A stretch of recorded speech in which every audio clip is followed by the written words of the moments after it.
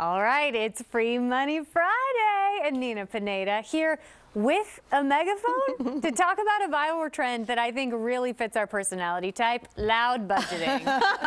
and people are becoming loud and proud Yeah. on what they will not spend their money on. But you've got some myth busting. You were about to break it down for us. Yeah, us. yeah, 'cause you know that this took off, you know, Yeah. and all of us are going to help. I've given you all seven myths, so let's get right to it. Lauren, All right. the first one. Um, the first myth is that loud budgeting means telling everyone you're broke with or without a yeah. megaphone. Well, it's not really about saying, you know, everybody, I'm rock bottom. I have no money.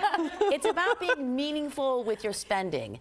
So, you know, your savings goals that you might brag about one day, like, hey, I got to go on this bucket list trip.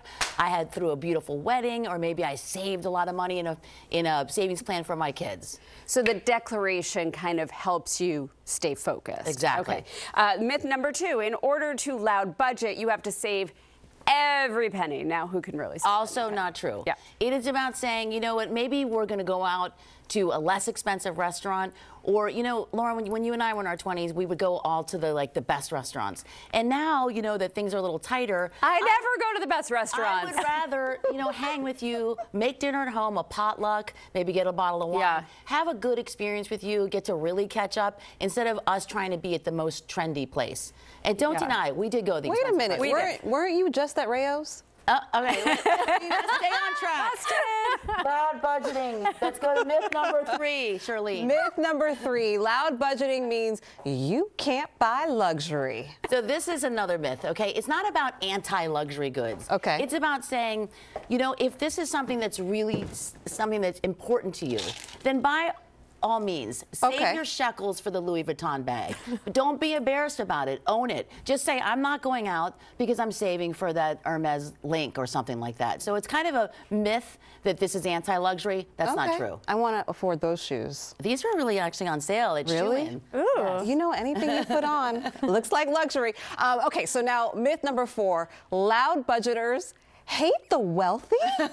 Ouch. Another myth. It's not about hating the wealthy because Yeah. the wealthy, how do you think they got wealthy?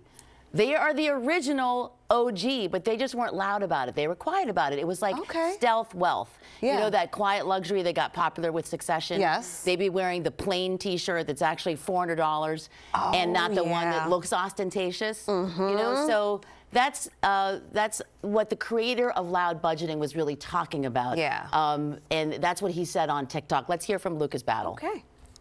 It's not I don't have enough, it's I don't want to spend. Loud budgeting has the same feeling as sneaking candy into a movie theater. You feel like you got away with something. You feel like you're on an adventure. You feel like you're coming out of the situation winning. So while quiet luxury is about idolizing celebrities, loud budgeting is about the everyday person, the average Joe. For me, loud budgeting, uh, while it's trendy, it's something I've been doing for a really long time. I think there's nothing wrong with saying to friends, family, listen, I can't go to that fancy restaurant everyone wants to go to, so I'll sit out, or maybe can we do a potluck, or can we go somewhere that's budget friendly? I'm working on my budget right now. I'm digging myself out of debt. It's really about telling everyone where you are and what your goals are, maybe cheering them on as well. See, it's about cheering people on. There we go. I'm cheering you on, Danny. That's the spirit. Okay, I have another myth. Okay. This is myth number five. Loud budgeting is only for us poor. Why are you saying us poors? you know, us poor people. No, it's not. It's definitely not. It's for people of all all financial backgrounds because one great quote I saw when looking uh, up researching the story was I pay a lot of money for my home, so that's where I'm going to be. A hundred percent. You know what I mean? Yeah. Rent and and or your mortgage is the most expensive thing probably on your budget. Mm-hmm. So why not hang at home and say, guess what? I'm hanging at home. That makes me really happy, which feeds right into this next myth. Number six, loud budgeting makes you sad. I love this.